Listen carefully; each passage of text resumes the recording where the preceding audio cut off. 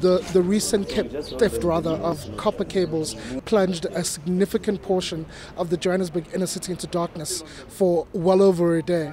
Um, they essentially 15 million rands worth of infrastructure was stolen um, and was sold for 400,000 rand. So there, there, there's we have a massive problem in dealing with the black market.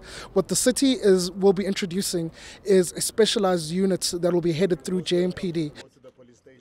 The City of Johannesburg Mayor Herman Mashaba went around the inner city at different scrap yards where they found stolen copper cables and pipes. Four people have been arrested so far. The cables seem to be incred incredibly valuable in the black markets because they can be used in various in various other settings.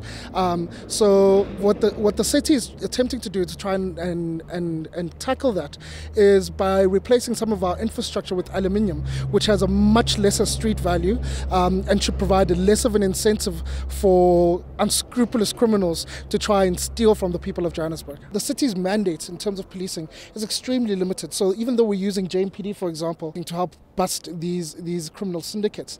This really should be something that national government, through the national police, and provincial government should be stepping into and assisting. Um, I'm Pomashiho for Joburg Today.